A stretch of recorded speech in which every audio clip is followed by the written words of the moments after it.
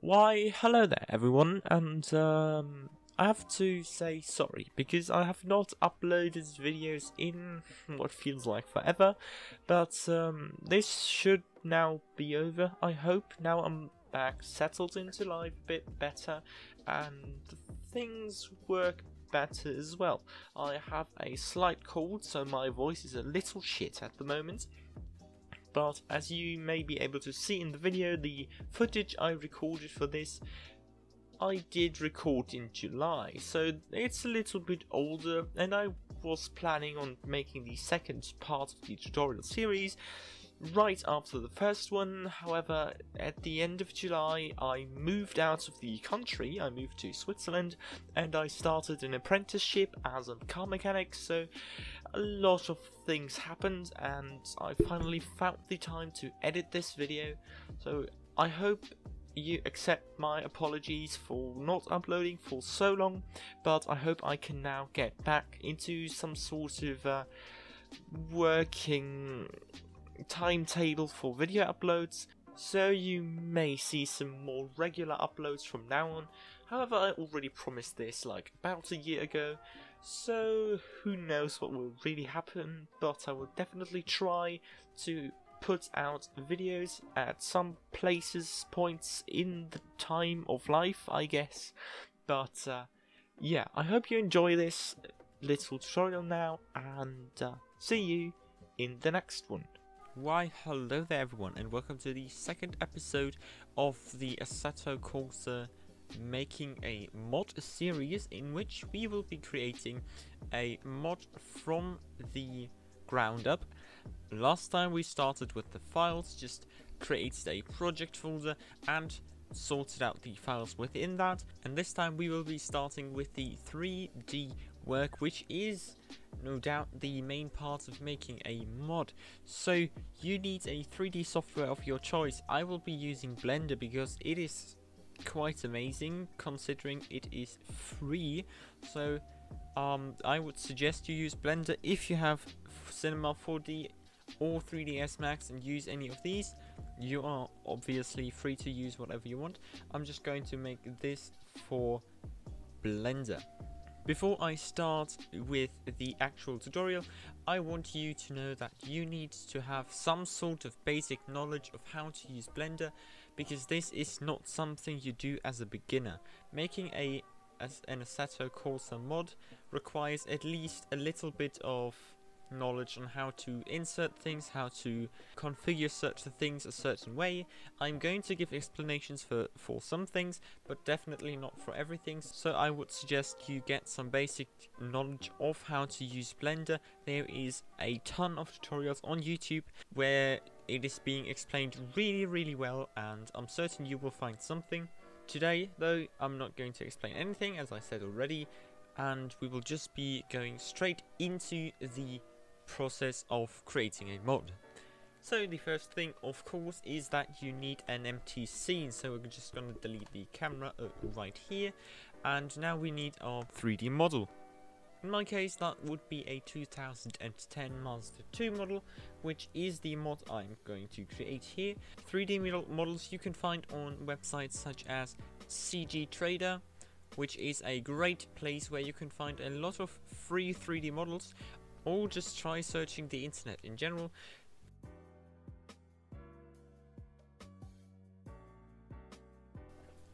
Now here we have the model and it is a bit, well it's not the way it is supposed to be. So firstly I'm going to rotate it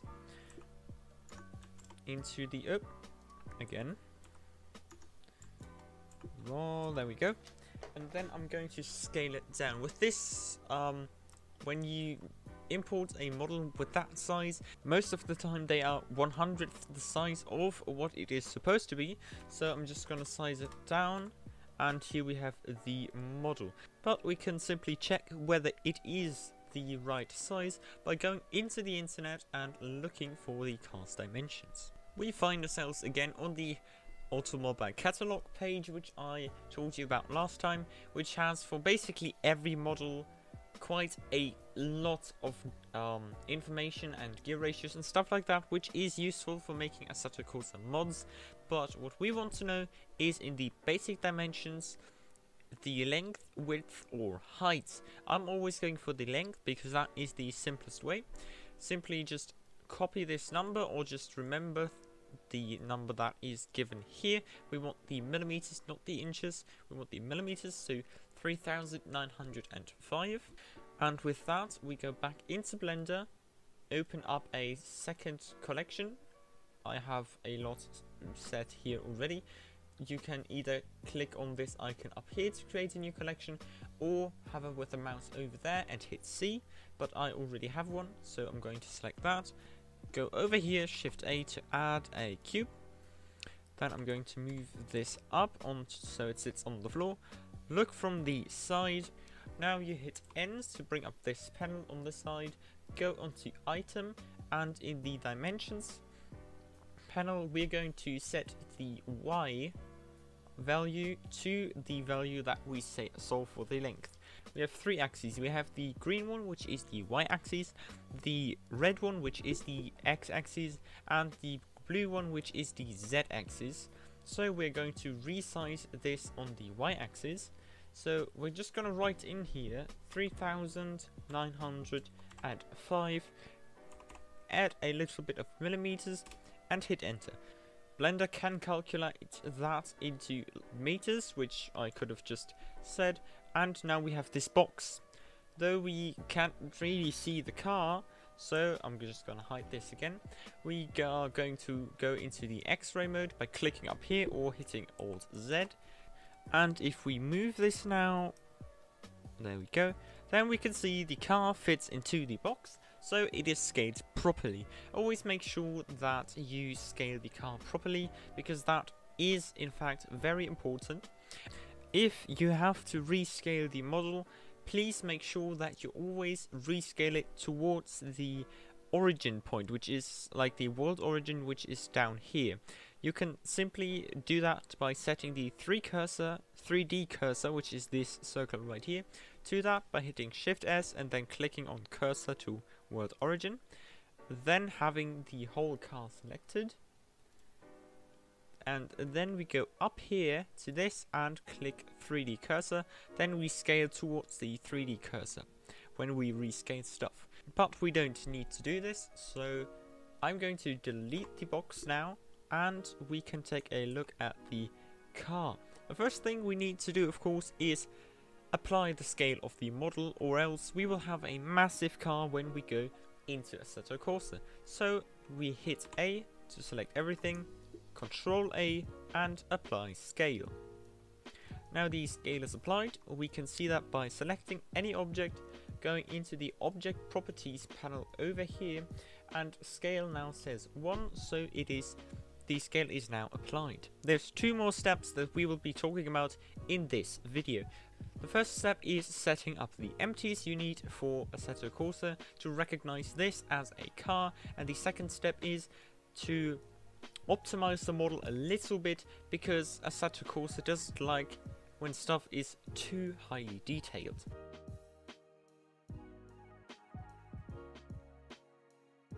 We'll be starting just the other way around with optimizing the model. There's not much to optimize on this car, though sometimes you do have to watch out for stuff such as light bulbs. So if we just select these here and hide that, we can see that there's light bulbs in here because well the car does have light bulbs because it has lights but if we go into edit mode so we hit tab we can see how damn detailed they are and Assetto Corsa can only handle so many vertices so these points on one object so technically we would have to um, separate all these objects from each other, like all these meshes from each other. But since we don't really need the bulbs themselves, we can just simply delete them because then we have a lot less geometry in the whole thing, which makes loading the mod into a game or just playing in general a way smoother experience. So with these removed, let's just check the fronds whether there is a separate object for these. And yes there is. So we're gonna select the light bulbs and delete that. And I've seen with the see-through mode there is one down here as well. Delete these and just alt H to unhide stuff. And there we go. We have selected we have optimized a part of the model now we can also quickly look up here but there's nothing. That is good. The next part that needs to be optimized is the tires. If the tire is too highly detailed Assetto Corsa is going to simply just die and we don't want Assetto Corsa to die on our tires. So at the very least we need to remove this track object which is on top of the actual tire right here um, which I'm going to do now. So just remove the detailed parts if for you these two objects are one we will be replacing them anyway but in this case I can uh, just delete the track and technically this could work as a vehicle now. The 3D model is ready to be used in game like that. Of course it is not set up to work but it is not going to crash the game just because of the detail. Now we have these weird looking tires left. Um, you may even not have these tires left but none at all. But that is not an issue because I will be replacing these tires anyway with a set of tires from an Assetto Corsa 3D model because these already have textures that work with them and we don't have to go through the whole trouble of making our very own textures. So I will be just reusing 3D assets where I can. I would always suggest you do that as well because it just makes the life way way easier. Though I will not be importing and setting these up now Today we're just going to do, go over the empties and then I'm done for this video.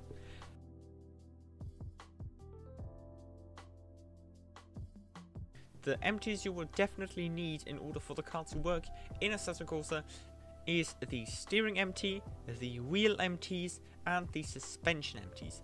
And these are really really easy to set up. I'm going to show you that on the example of the front left wheel and of course the steering wheel. So we are here looking at our precious front left rim. And if we go into edit mode, we can, and see-through mode, we can see that there is a vertice right here in the middle.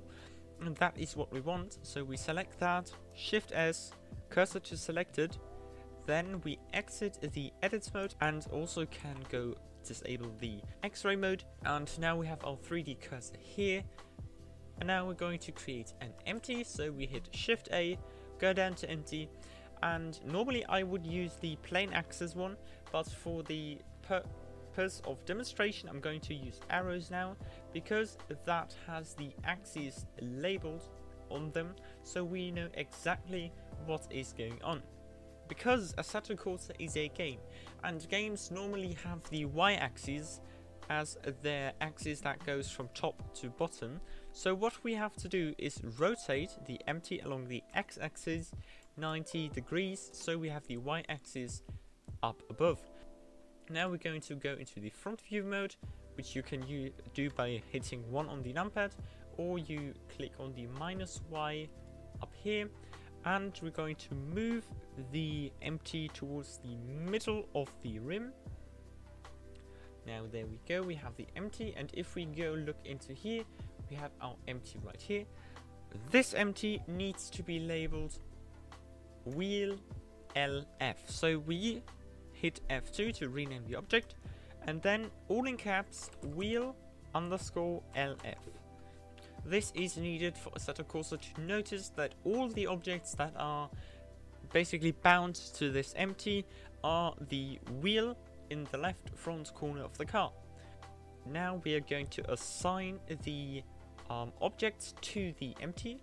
So I'm going to select all of the objects that I want to have rotate and turn with the wheel, which does not include the brake caliper. If we look, okay, that's everything but the caliper. The caliper does not rotate with the wheel, so it is not going to be part of the wheel LF. Empty.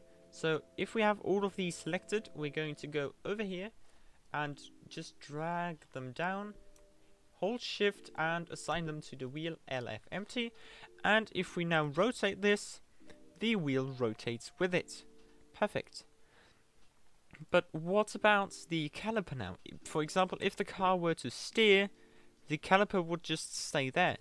Of course, that is an issue, but remember, I also mentioned the suspension empties, which is what we're going to create. Now, with the wheel LF empty selected, I'm going to hit Shift D to duplicate it, right click to cancel the movement, but now we can see we have two wheel LF empties, and the second one we're going to rename to susp underscore LF for suspension left front. And this right here is going to do the same steering moves as the wheel LF, but it's not going to do the rotating as the wheel LF, so it is ideal for our caliper. Just gonna find it up here and go down and set this empty as its parent. And now if we use this empty and rotate it, we can see the caliper rotates with it. And here we have the whole thing rotating. Perfect. Now we have set up the front left corner of the car. The same thing, of course, goes for the rest of the wheels as well. So I'm going to skip through this.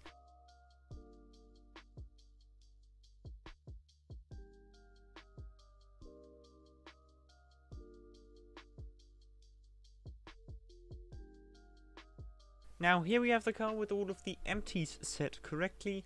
Now there's one last empty that is also needed and that would be the steering empty which turns the steering wheel. And that for I'm going to just hide these windows and the car sadly doesn't have a good interior but at this point any interior is better than no interior. And even without an interior we could we still would have to create the steering empty so I'm just going to create a new empty.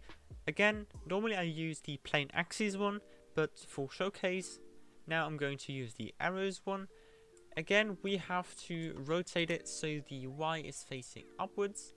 And then I'm just going to quickly select these two, isolate the objects, and now I'm going to move this over here. Then I'm going to rotate this bit so it is in here. And last but not least, just move it over there. So it is roughly at the center of the steering column. Unisolate it, call this empty steer underscore HR for high resolution this is the necessary one. And technically we could just leave it like that, but I do in fact want the steering wheel to be turning. So I'm going to select these three and just set them as child objects again. Drag them up, hold shift, let go of the left mouse button. And now if we have this rotate here, the steering wheel rotates. Whoop, oh, one second, there we go. Now, we could import this car into the game and it would not crash because of the immense detail which we took care of. And it would also not crash because we have set up all the necessary empties. Though it would crash because the car does not have any materials. But the materials will be done next time. This is all we're going to do today. It is small steps yes but small steps also lead to victory even though it may take a bit longer but we're going to do the safe route here and not the one where we are, where we end up with something that doesn't work and we're sorry in the end. I hope you had fun, at least to the degree that you can have fun with a tutorial, tutorial video, and until next time, stay safe everyone, and